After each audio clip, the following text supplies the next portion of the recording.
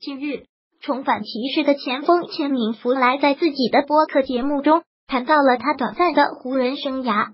当被问到此前是否有兴趣回到湖人时，弗莱一番话吐露心声：是，但也不是。一方面我想回去，另一方面他们湖人不想要我。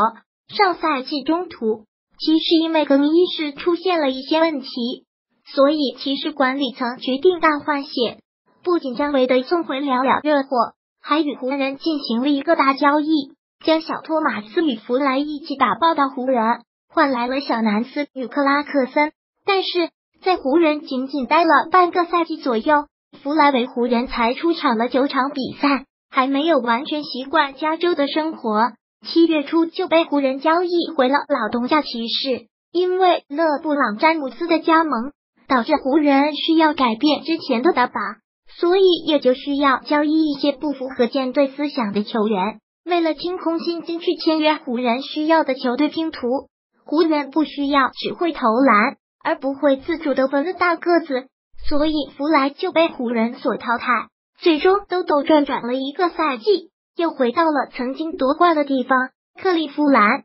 所以当弗莱在采访时说到这句话时，令人非常心酸。一名球员转会不仅仅是个人的换队。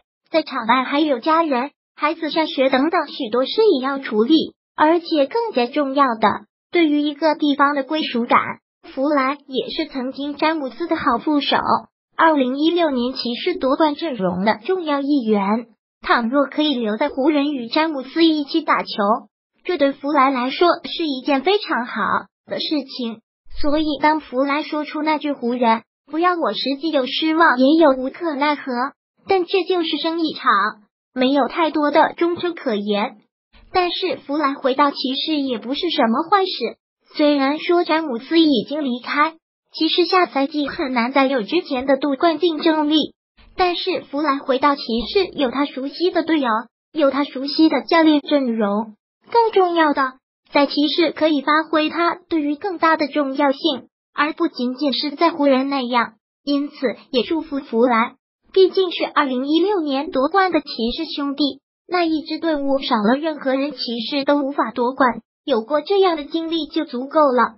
希望弗莱接下来会越来越好。